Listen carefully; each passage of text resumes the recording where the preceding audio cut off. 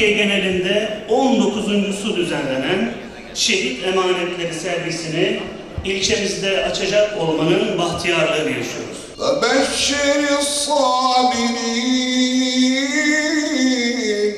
Bir şehit eşi olarak bilinmesini isterim ki da televizyonlardaki birkaç dakika haberden ibaret değil. Türkiye Cumhuriyeti Devleti'ni bölüp parçalayıp yok etmek isteyenler, Türk milletinin kutsaliyetlerine göz dikenler,